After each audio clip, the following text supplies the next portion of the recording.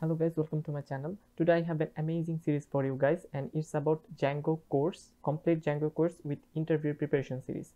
So this is not just a django course that i'll show you how to build a website.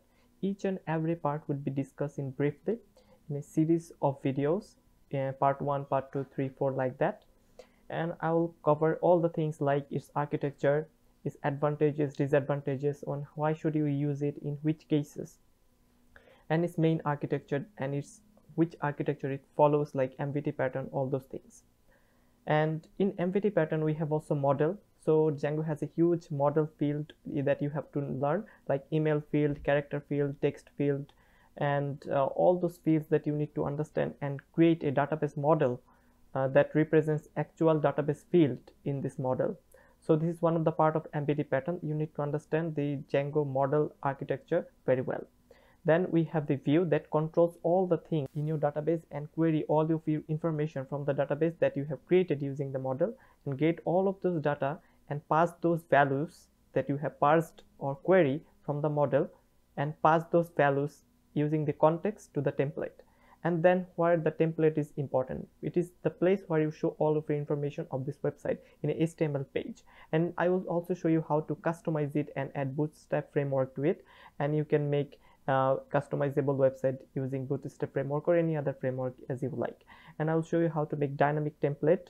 Uh, okay that comes all the information comes from the database and show you how to modify it edit it create it and delete it from the actual template of the html page. Okay so i'll show you all the functionalities and how you can make base html and you can inherit those in other templates. I will also show you how to add your database of mysql integration in your Django project and every single thing of it.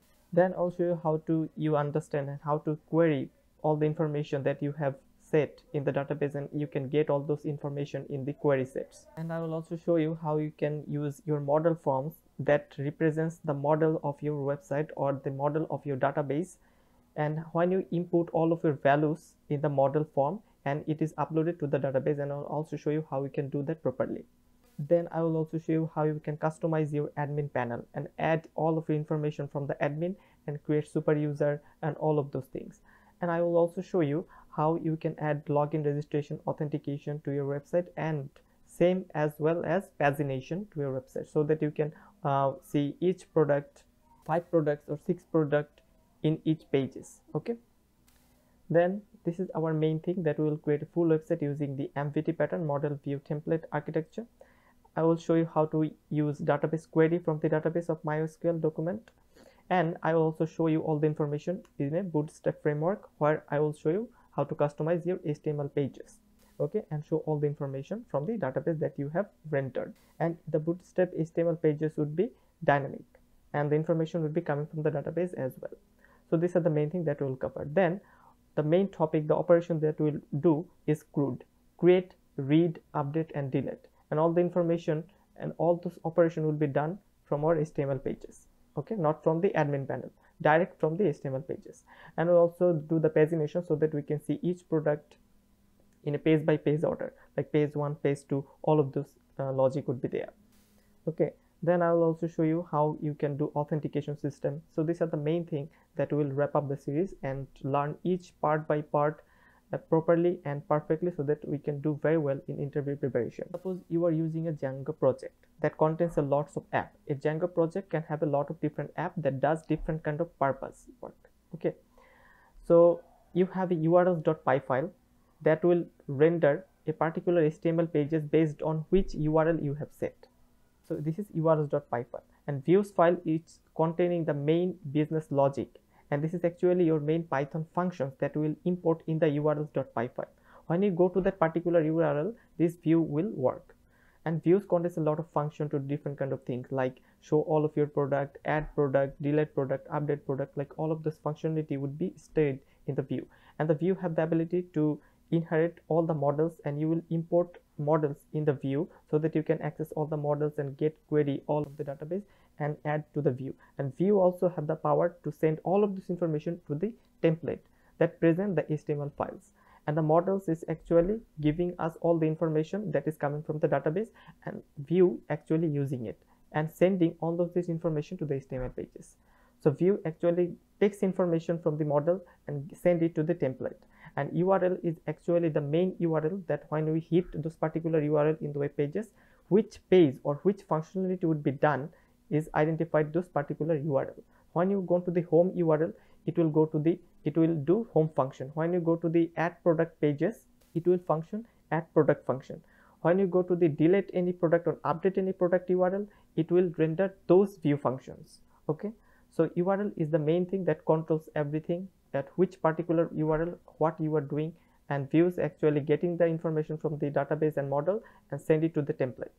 Okay which template we want to render at particular url so these are the main thing that four things very important which is url views.py models and templates. So that's why it is mvt pattern which is very important for django and in many other web framework we use this kind of pattern. Okay so you have to understand it very properly so that you can do work more perfectly. But in this case uh, you are not going to understand very well because you are not seeing actual code that which file is models which file is view which file is template. Okay we you have to understand everything in detail. We will learn it in full detail and full practical way. So don't worry we will be covering a lot of things. So django is a python based web framework for rapid development. Okay so when you want to ask anyone that what is django? Django is a python based it is completely written in python it is python based web framework that is used for rapid development okay so that we can i can build the website very quickly and easily and the advantages of Django is huge. Firstly, it is used for fast development. Second, it is very developer friendly. It has a very clean code architecture that uses different kind of MVT pattern. It is very, very scalable. You can add a lot of features, a lot of functionalities in this website and make it very scalable. Okay. It follows design uh, a perfect design pattern, which is MVT, which is really good and it is very organized code. And it has an awesome documentation. When you go to the django documentation you see its Django documentation is superb okay? And it has a lot of feature packed admin panel. And you can also customize it. You can have all the things that you want from the admin panel. You can add uh, product delete product update product. Everything that you want from the code functionality is already added in the admin panel and you can also customize it. And how you want to see the admin panel you can do this. I will also show you how to do that as well. And it has a huge huge community that you can get help. You can get uh, any group facebook group and and ask for any help and they will help you and many things as well. And i already told you it is a very clean code and the code is really good. And it is like you are writing an english sentence like this because it is python based so the the problem that we have is it is a huge learning curve. You have to learn about model you have to learn about view you have to learn about template you need to learn about function based component you need to learn about authentication uh, database integration you need to learn a lot of third-party module authentication then model forms then how to create model how to uh, create view functions how you understand the urls.py file how you customize admin panel. There are a lot of things to learn in this django framework. That's why it is not good for a smaller project. It is not for a smaller project. And you have to learn a lot of lot of things to learn django. Okay? And it, it has a lot of bulky modules. You, you have to import a lot of modules to understand many things. Like form module crispy form module or any other third-party module that you want to use. You have to use a lot of modules in django. Okay? That's why it is huge problem sometimes. Okay so these are the top three disadvantages that I currently have. If I know more about it, I will tell you more about it. So let's start the main series and get started our main project so that we can create project and understand how the project is structured and how the files is going on and how we create an apps inside a project of Django and all of those basic commands that you need to understand, you will understand everything of it so that's all for today. In the next video i'm going to show you everything how to build a project and how to make app in a project and set it to the setting file and how to how to integrate our database mysql database and how to create our models. And go to the admin panel and add all the products information from the admin panel. All of those things will be covered there. So till then thanks for watching guys. I'll be coming up with the next video